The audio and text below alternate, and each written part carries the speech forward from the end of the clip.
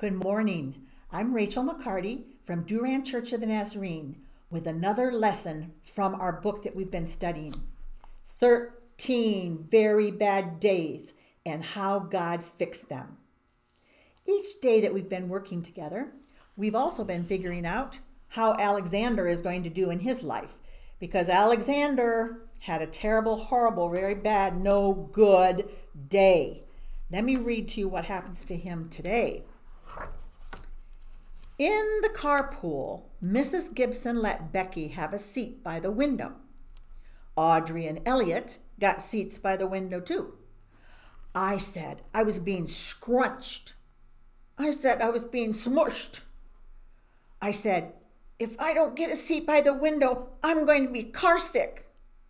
No one even answered. I could tell it was going to be a terrible, horrible, no good, very bad day. You can see his picture there. And this is what's troubling him about his life. He's had a terrible, horrible, no good, very bad day. Well, I brought a friend to introduce to you today.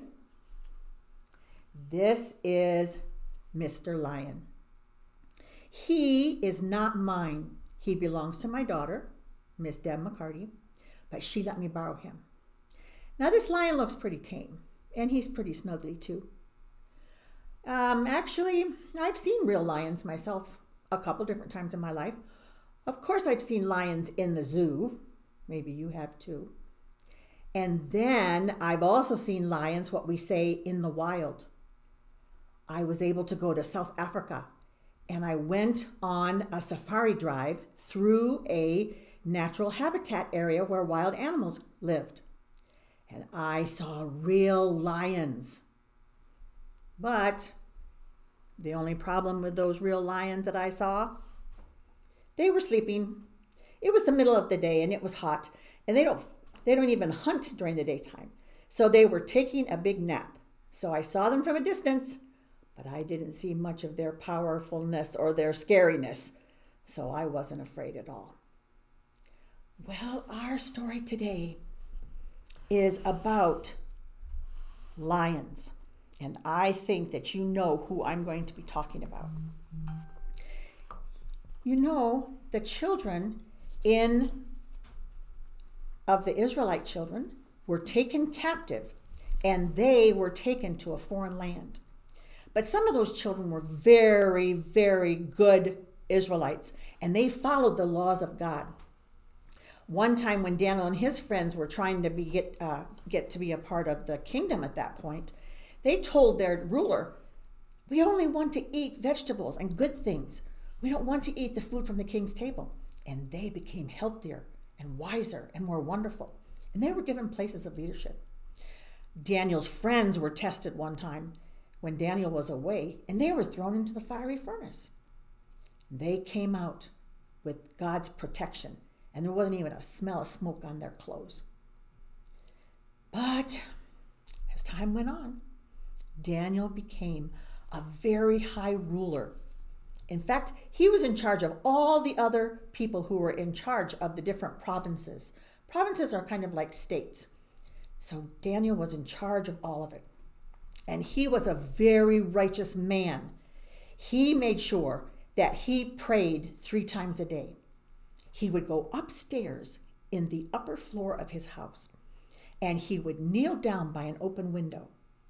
Now, that open window faced in the direction of the city of Jerusalem because the city of Jerusalem is where the temple used to be before it got crashed down and destroyed by their enemies. But he would still face Jerusalem and he would pray to his God three times a day. That was a very good habit to have because praying is very important to us. It's the way that we talk to God and one of the ways that God talks to us. So this went on for some time. But, you know, sometimes when you're doing the right thing, other people get jealous and they don't like it. Well, that's what happened some of the other officials got jealous of Joseph. Sorry, jealous of Daniel. And they did not like what he was doing. So they fixed up a scheme, that means a plan, to hurt him and destroy him. They went to the king at that time and they said, O King Darius, live forever. You know how powerful you are. You can make any law that you want to, and everybody has to obey it. And you should be the one that grants everybody's wishes and everybody's desires. Nobody else should do that because you're the most powerful. And Darius was feeling all proud of himself because, well, that was true. He was the most powerful and he was the most wise. So the men, the officials, tricked him and said, O King Darius, make a rule of the Medes and the Persians that for 30 days no one should ask or beg or pray for any other favors or wishes from anybody except you. And Darius thought, that's a good idea. I think I'll sign that. And he signed it. And he put his seal, he wears a ring that has a certain symbol on it, and he put wax on the paper and put his seal on that law so that no one could change it. Well, Darius was feeling pretty proud of himself. Nobody was going to pray or ask or wish for anything except to him for 30 days. But the officials went right out and they started following Daniel and they started looking for him. And when it became evening prayers and morning prayers, they went and checked on him. There he was, sitting at his window with his head bowed, his hands closed, and he just prayed as he faced Jerusalem. And the officials like, yay, we've got him now, we've got him now. He's not asking from King Darius, he is asking from his God. and they went back to King Darius and they told him, there is someone who is asking something from somebody else besides you, O king. And King Darius said, Who is that? And the officials said, It's Daniel, your servant. Oh my goodness. That wiped the smile right off of King Darius's face because Daniel was one of his favorites. And so he thought all day long, like, how in the world am I going to get him out of this? And he tried to think of something he could do or new, some new law that he could make so that he wouldn't have to put Daniel in the lion's den. That was the punishment for disobeying that law. He couldn't think of anything.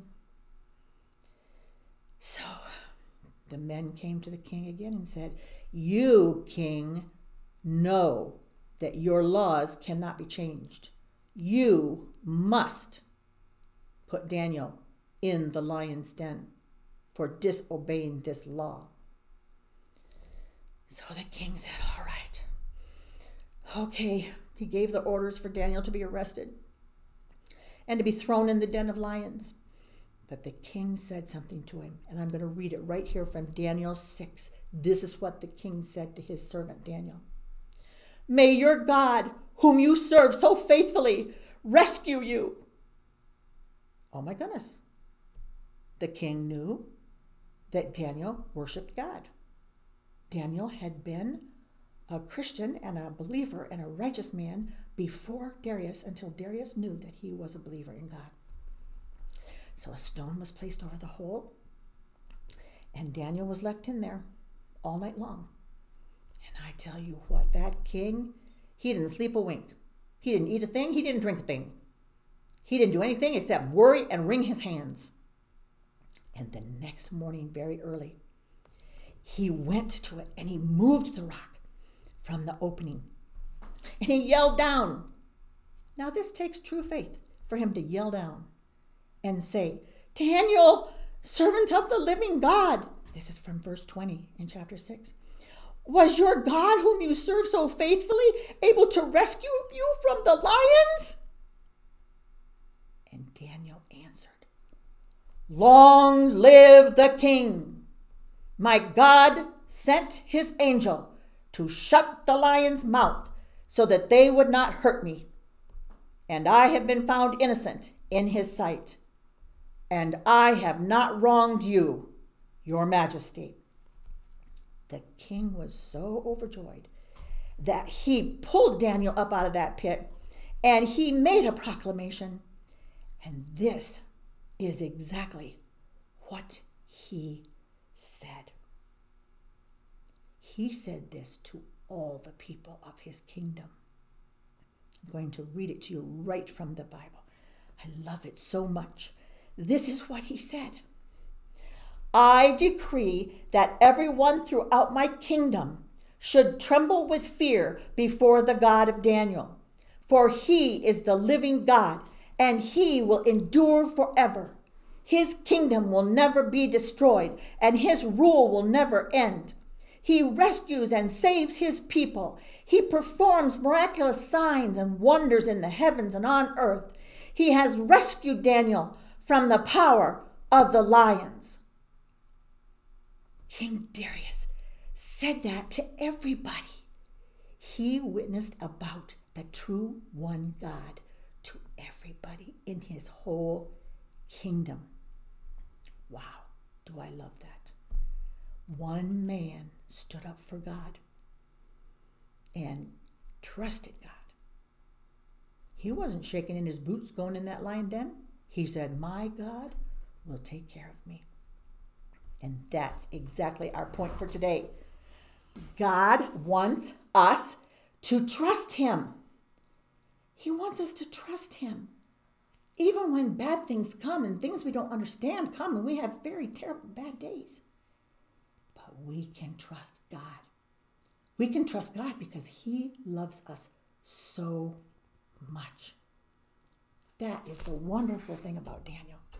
And Daniel's very bad day was turned into a good day because God helped him.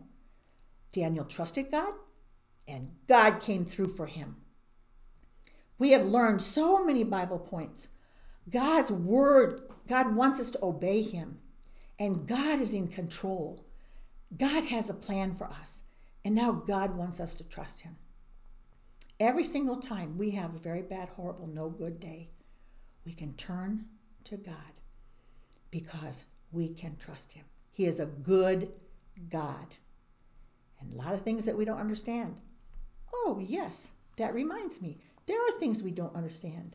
And that is our verse for today from Proverbs 3 5 and 6.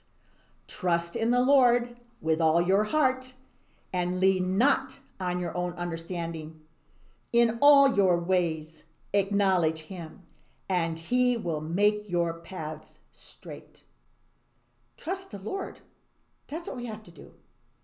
If we trust the Lord, he will make our paths straight. Don't trust our own understanding because we don't understand. Did Daniel understand about having to be thrown into the lion's den? No.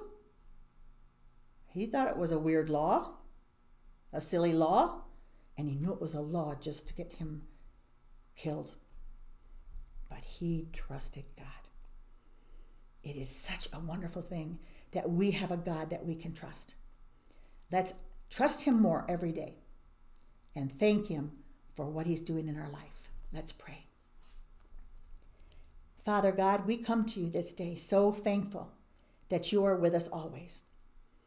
And we don't want to trust to our own understanding because we don't understand much. But what we hold firm to is that you are a good God and we can trust you. God is so good. He's so good to me. Dear Lord, please just be with us each day and may we learn to trust you more, no matter what our day is like. This I pray in Jesus' name. Amen. Make sure that when you're together that you have a chance to listen to that song that I mentioned a few times back ago. The song that's called, I believe it's called um, Adonai. And that is a song that your parents can look up for you so that you can learn to sing that together. Well, do we have surprises for you in your packet this week? You, of course, will find your Bible verse for your family, and then you will find a coloring page that Miss Deb has colored so beautifully for me. This is the picture of Daniel in the lion's den. And you see what Daniel's doing? Sleeping. That is how much he trusted God. He just went to sleep. For your craft this time, you will be making a magnet. I'm going to show you the back. This is the back where you put the magnet, but that goes on last. Inside your packet, you will find a letter on exactly how to make this, what steps to take each time, and how this will be turning into a cute little lion that you can put on your refrigerator. Every time you look at it, you know, I must trust God, just like Daniel did. So yours won't look like this because this is the finished one. Yours will come in a pack like this, and you've got all of the things in there that you need. Some things you might have to little, use some glue for, and you'll have to use some scissors, but other than that, everything is there for you. Your treat this week is a fruit snack because Daniel ate very, very healthy food. Miss Deborah McCarty found one more thing that she wanted you to have as an extra activity for the week. And that is this beautiful picture of a lion.